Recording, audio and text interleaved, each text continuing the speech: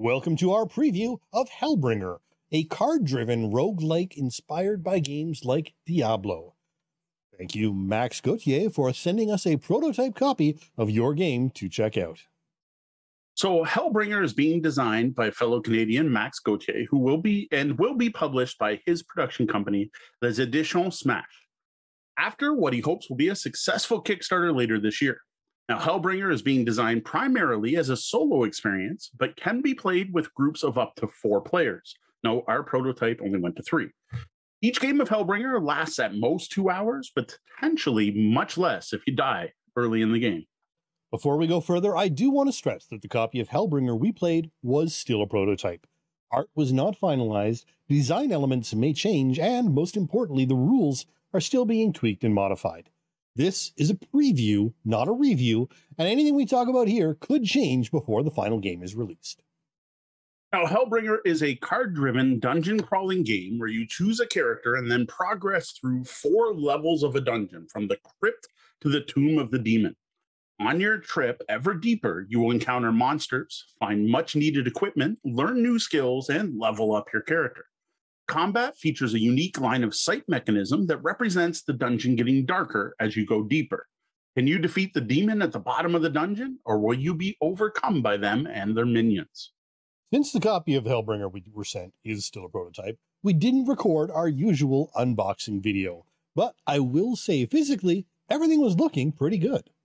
Yeah, I agreed. Uh, the card design, the iconography, the artwork we did get to see. Some was finalized, some wasn't. All looked good. Uh, while many of the cards did note the art wasn't finished, the ones that were, I liked what I saw. The boards included were functional, and I particular, excuse me, and I particularly liked the dry erase portion of the player boards where you actually track your character stats while playing. The boards were of a jigsaw fit type, and they did what they needed to do with places for the decks and cards that were needed. Now, where things did fall apart a bit is with the rule book and the included campaign book. Now, physically, they looked pretty good. They were well laid out, lots of white space. There were examples, and there were some other solid design elements but sadly, the translation of these rules did leave a lot to be desired. Yeah, not only the translation, but the organization of the topics lacked a lot. Uh, lacked a lot. Uh, combined with the uh, with no index, there was a lot of page flipping to try and grasp the rules or find a clarification when we did ran run into something we either missed or or had forgotten from the rules. Yeah, it was one of those rule books where you're like, I know it's in here somewhere. Where is it? And we did have an issue with that. Now, I don't want to harp on these rules too much because at this point, the game's still in development. And I do have to thank Max for being very accessible during all of our plays of Hellbringer. He had an answer for all of our questions, which was great. And with his help, we were able to figure out and play Hellbringer successfully. Speaking of figuring out how to play, how about we move on to that? Why don't you summarize how to play Hellbringer? Well, you start by building the dungeon deck. This involves taking all of the core cards, it's a significant chunk of cards, shuffling them and creating four decks.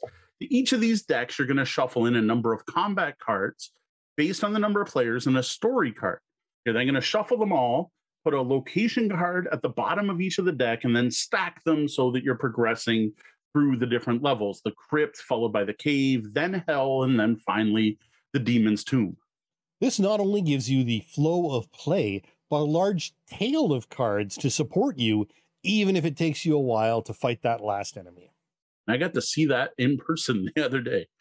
Now, the monster deck is built next, which involves shuffling the two monster decks separately, the starter monsters and the main monsters, and then putting a set number of random beginner monsters on top of the standard ones, again, based on the number of players. They make sure to put some easier creatures on top based on the player count to ease you into the mm-hmm. dungeon. Next, you're going to pick a scenario to play. Uh, every scenario features two sets of rules. There's like a normal mode and a difficult mode, where, far as I could tell, all of the normal modes were the same. It was pick any character you want, and the only thing that would change is which demon you're going to fight at the end. All the heroes are able to use, and that's it. Now, the thing that does change, though, is the story on the different missions.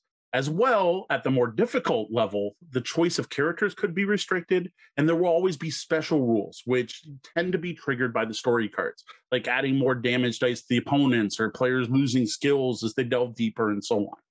Now, the game currently includes nine scenarios and a tutorial. Now, the tutorial is just something to learn the game that uses a smaller deck with only two locations in it. Now, the straightforward deck builds here really do make this game quick to get mm-hmm. up and playing with, no matter what level, scenario, or player count you want to use. Now, everyone then picks a character to play, of which there are six to choose. You've got warrior, hunter, paladin, druid, monk, and sorcerer, pretty typical fantasy character classes. You're going to take the starting card for that character and add them to a starting hand of four cards drawn from the bottom of the dungeon deck. Again, you're not delving the dungeon yet, you're just getting them from the core cards.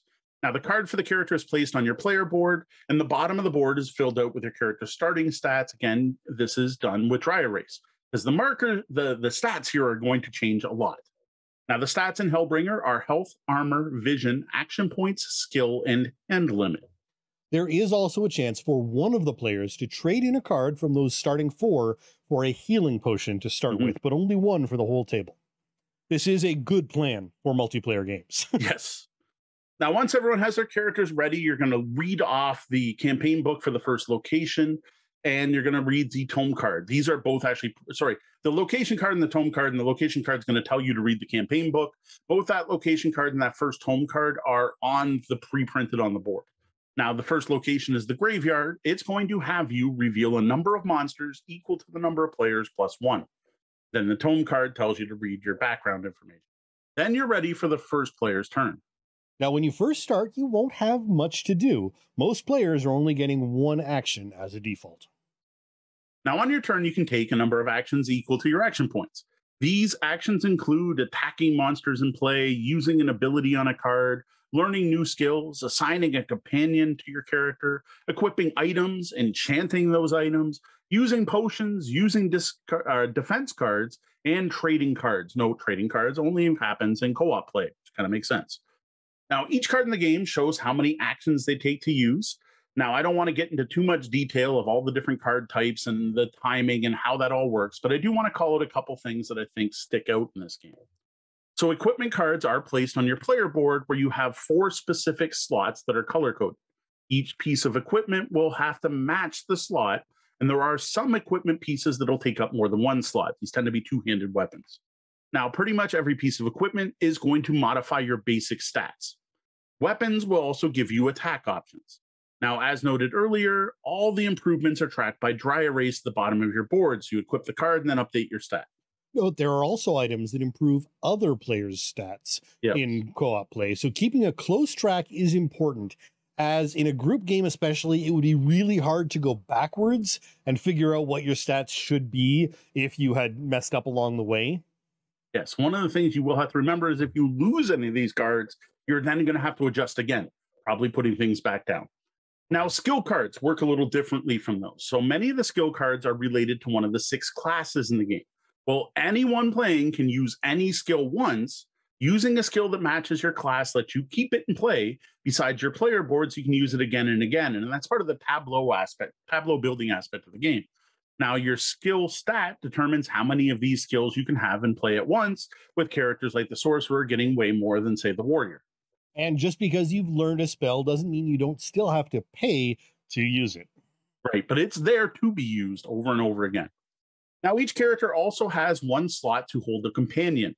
These you only have to pay for once, and then once they're in play, they're going to do their action every round for free. Now, one character class, the Druid, is an exception to this rule, but if you follow the rules clearly printed on the cards, it's easy to see how they can have more companions. Now, Hellbringer has a very unique combat system, which starts out with the pretty cool line of sight rules. Now, every character has a sight stat, and every monster has a visibility stat. A character can only attack monsters in their sight if the sight stat beats, meets or beats the mob's visibility. Now, the central board is used to track this, and it's divided into three areas to make this easier. If you're playing with uh, multiple players, especially, you've got row for mobs visible for ev- to everyone, mobs visible to at least one character, and mobs no one can see.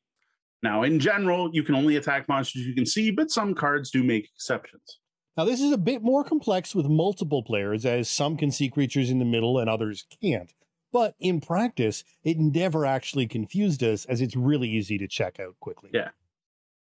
Now, actual attacking is done by rolling a number of custom six sided dice. These come in red, which feature fives, tens, and blanks, and green dice that feature fives and even more blanks. You pick a mob to attack and roll all your dice in one big pool.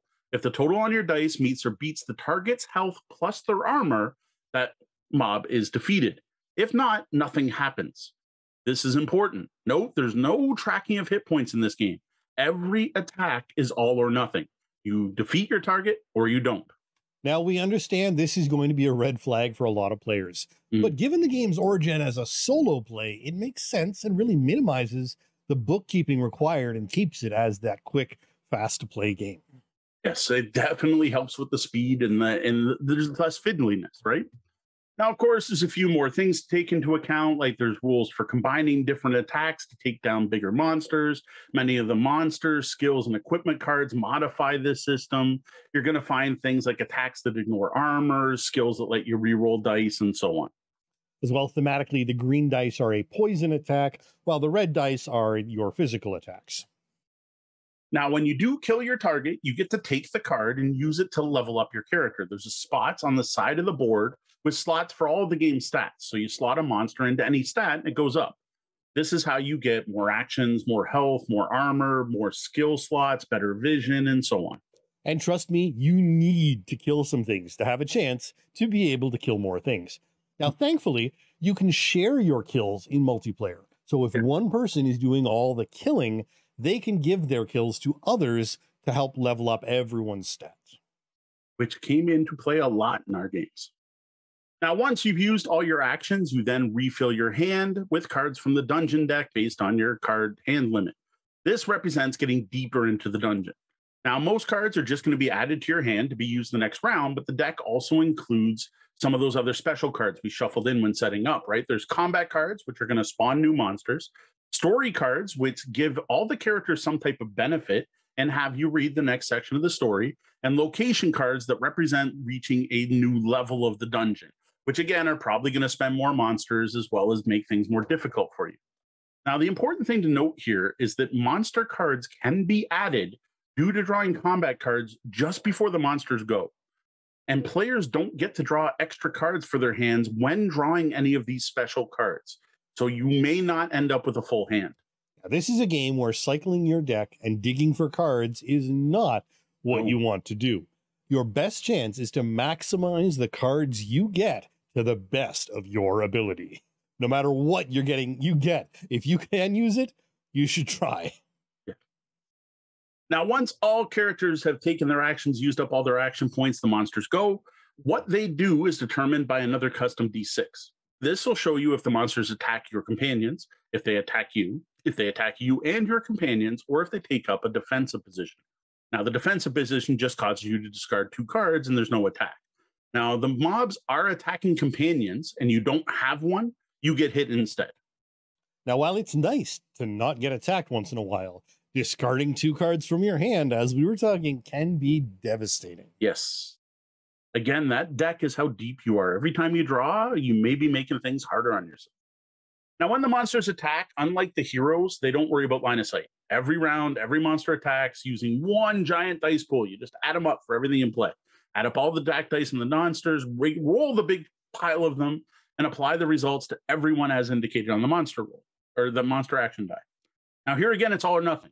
The monster's total damage is higher than your combined health and armor or your companion's combined health and armor, you're dead. That is, unless you have a defense card like a potion or some other defensive skill. Now, again, this takes a bit to get used to. Like, you're going to want to get hit for 60 and take 60 off your hit points, and that's not it. As long as you have a combined armor and health of 60, you're fine. There are no hit points in this game. You survive or die. There's nothing to track between combat rounds. It's all about planning, keeping an eye on what sort of maximum the enemy is going to be capable of yes. doing, and have options to mitigate some of that damage or else.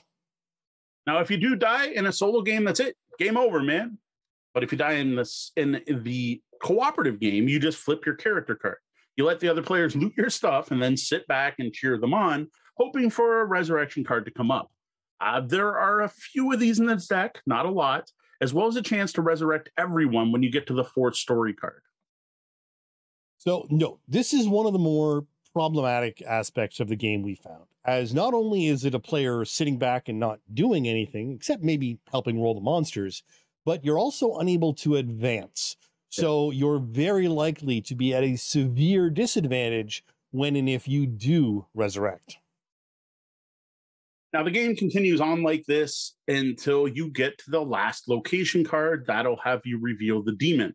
Now, again, the demon's set by the scenario that was chosen and will be a card for a particularly badass monster that's going to take a lot of damage, do a lot of damage itself, and you're going to need to do all of that damage at once because, again, the all or nothing combat system, you've got to hit that 135 to take down the dragon in one hit. Now, if you do manage to kill this demon, no, you don't have to kill any of the minions in play. You could just focus on the demon. You win. Congratulations. Rebuild the dungeon deck, pick a different scenario, pick a different character, and delve again. I think that covers the basics of gameplay without getting into too many details. Well, now let's start talking about what we thought of Hellbringer. Yeah, so I got to start by saying the prototype copy we got was a bit of a hot mess, and that's being polite. Uh, I would go so far as to say completely unplayable as written. As noted earlier, thankfully the designer was easy to reach and very forthcoming with clarifications and advice. Now, I also, before getting prepped for the weekend to play, found a pretty good actual play on the Hellbringer website. It's hellbringergame.com. And to be honest, that was the only reason we were able to even sit here and talk about the game it was just with the box we wouldn't have we would have a, if if it, all I had was that box and I sat down and we were having to tell you about it right now, this would be a much different preview.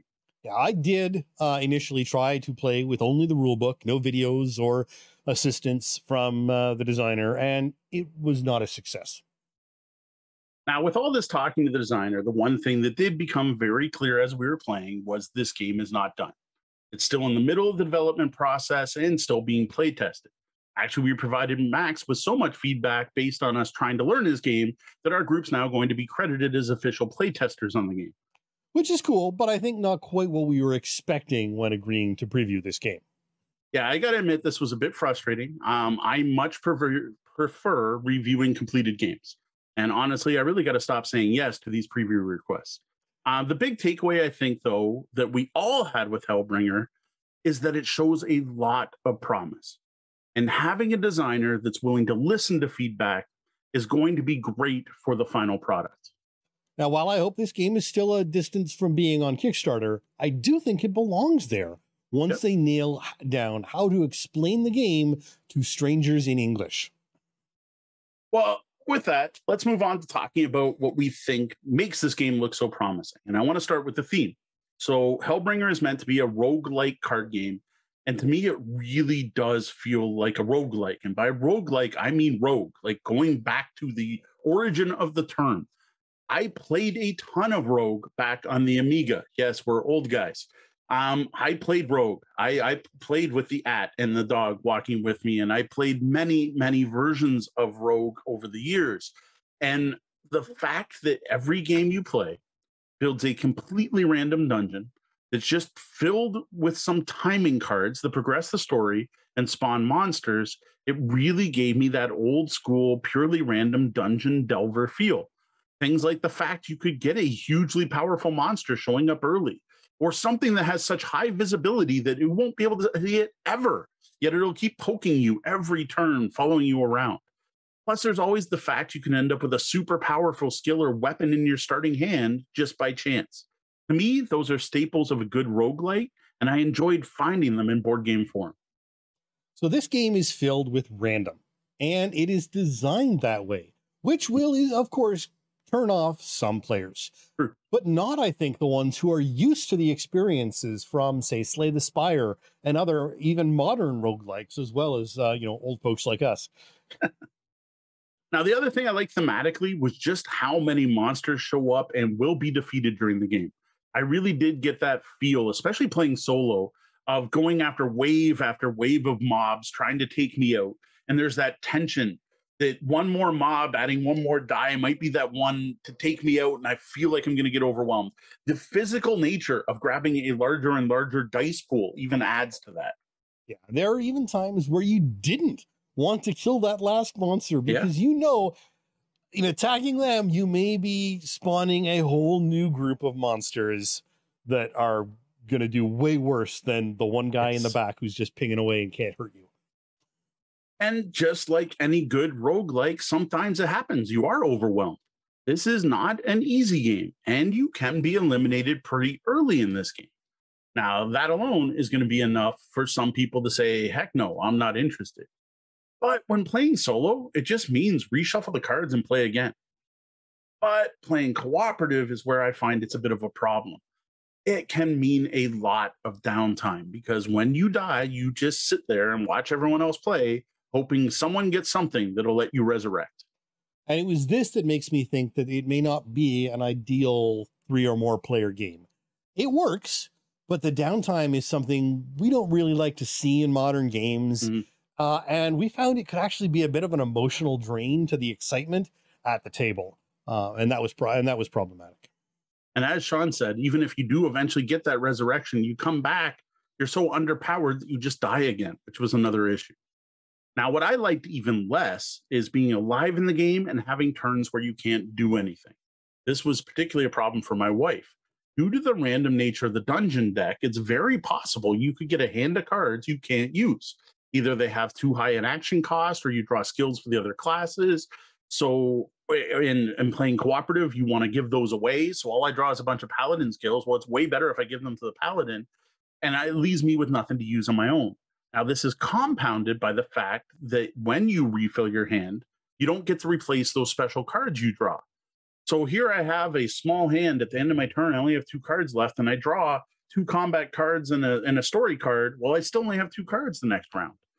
Plus, then there's the one action on the monster die that can come up and make you discard cards.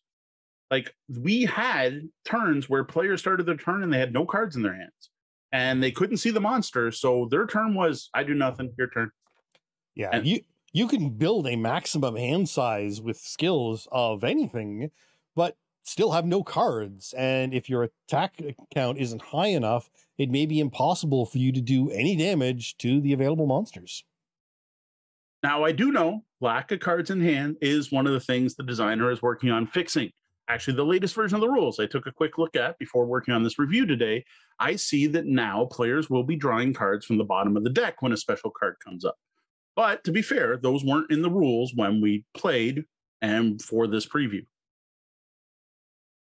Uh, so it's it's a real problem, and actually, it seemed to become worse uh, the more you could do, is the more chances you were going to draw special cards that caused actions and left you short. So it'll be interesting to see the new uh, the new version. The new version, yeah. Now, the other thing I want to talk about is the combat system. We've already mentioned that this is going to be a flag for some people. This is going to be divisive mechanic for many groups. The whole all or nothing, roll a huge pull of dice, and you either defeat something or you don't, is nice and quick. Rolling huge piles of dice feels good. But I think a lot of RPG fans, especially pen and paper role playing game fans, are going to hate the fact there's no tracking of hit points, there's no slow progression of damage and defeating something. I also feel some people are not going to like how armor works because armor in the game is just a number that gets added to your health to make you harder to kill, unless some card says ignores armor. While I recognize these mechanics from video games, I don't know any other tabletop game that uses them. Yeah, and I think it makes much more sense in its solo form than it does in the group cooperative play. As three of you in each turn, each doing 120 points of damage, but with the armor, it, the monster has 130. So even though all three of you are slaying away at it, it lives on happily. Yeah, I will say the the rules as they stood for combining attacks were a little ob- obtuse. They were a little hard to understand, and I didn't find a reason other than maybe it breaks the game for why you shouldn't be able to combine attacks from other characters. Like maybe it just makes it too easy, but it, it rationally it didn't make sense. So overall, as it stands right now, Hellbringer shows a lot of promise. The basic gameplay is engaging and fun. The mechanics work well together. And while we did hit a lot of stumbling blocks when trying to learn the game, those were all due to an incomplete and poorly translated set of rules. Both things that honestly shouldn't be a problem by the time any of you are able to pick this game up or back it on Kickstarter. We honestly found, all of us found a lot to like in Hellbringer. And what I'm looking forward to is seeing how it improves and develops further. Because it's already good. How great can it be? For all the frustration and flaws, especially as that solo or two player co op game, I think it's got huge potential. If you're looking for an engaging solo dungeon crawl, you're going to want to keep your eyes uh, open for Hellbringer. The game plays nice and quick solo, and I found that dying in solo just made me want to try again. It had that, oh, I was so close, I got to give it another try, which honestly to me is a perfect sweet spot for a cooperative game. Now, as for a cooperative dungeon crawler, Hellbringer is solid but not perfect. While the mechanics for trading cards and working together are pretty solid, there can be a lot of downtime, especially if a character ends up dying. And I really hope it's these aspects of the game that get a little playtest a little more, a little more developed and improved to see this become a more smooth, solid cooperative experience. Now, where I do think this game may find a market that you might not expect is fantasy role playing game fans looking for some way to enjoy a dungeon crawling experience without needing other players. While I wouldn't say this is a solo GMless RPG, you're not going that far, but you do really get that beat up the monsters, level up your character, and equip new equipment. Like to me, this seems like the perfect game for when you know your d&d game gets canceled and you still kind of want that experience. And again personally the big thing i'm looking forward to is where's this going to go? I know the game's improving. I know it's changed since we played it and every change i've seen looks better. It's already good but has every opportunity to become great so that's it for our preview of hellbringer coming soon to kickstarter now if you're interested in a more detailed breakdown of how to play in the components in hellbringer you can check out my written preview over at tabletopbellhop.com.